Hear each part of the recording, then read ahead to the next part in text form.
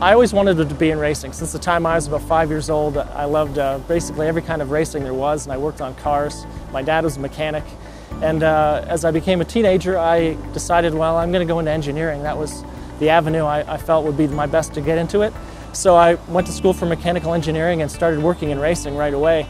I uh, worked for a company called Multimatic, which is um, one of the best automotive engineering companies in the world. I worked there as a, as a student in the racing program um, for four years and also as a designer in their design department, so I learned a lot that way. And after I graduated, I uh, became a test engineer there and was in the thick of everything, working on projects for Ford, um, Honda, you know, the big automotive companies, but then also a lot of racing teams and NASCAR, IndyCar, places like that. So that's really where I got involved in racing. And then I, then I moved to Indianapolis and started working on an Indy Lights team there as a race engineer.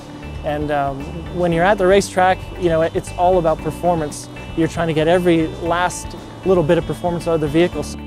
What started me on the path to fuel economy was really a passion and an empathy that I developed for the trucking industry. We rely so heavily on this industry and they consume so much fuel, they, it's such a major expense and I realized that some of the technologies and engineering from racing that I use could be used for this.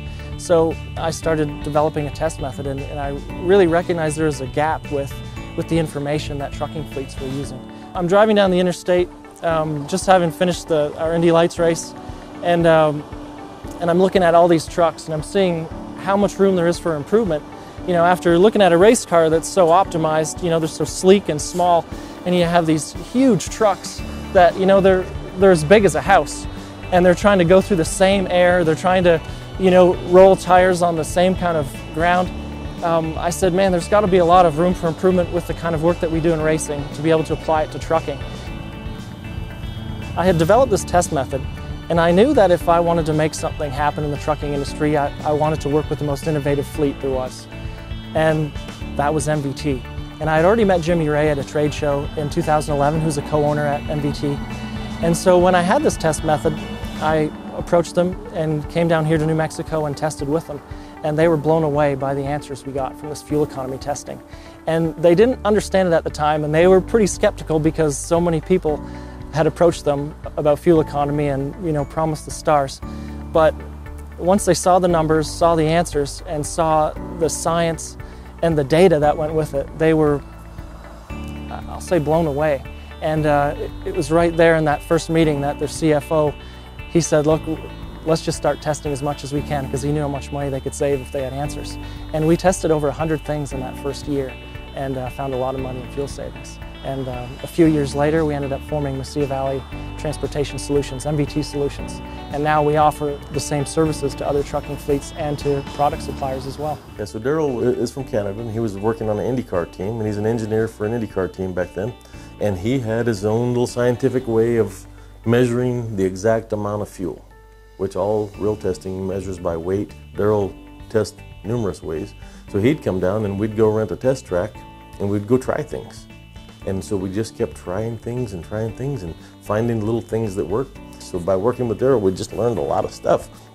So we saw so many people in disbelief of what works and what doesn't work that we created a company called MVT Solutions where I mean, it's expensive, but it's expensive to do our testing, but it's not that expensive when you figure the return on investment might be a month.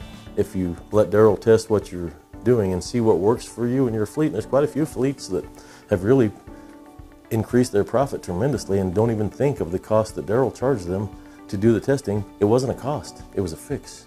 Everybody should be fuel conscious because we have a planet that we live on that we need to have good air to breathe and we need to not waste all of our natural resources. And then the world is getting better. I mean, every car you get gets better fuel mileage than the last one you had.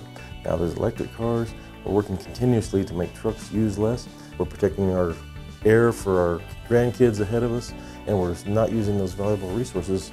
And then the real thing, when you first want to be green, the main reason you're green is green is the color of money. One of your biggest expenses behind drivers is always going to be fuel. So and you have the ability to lower that cost.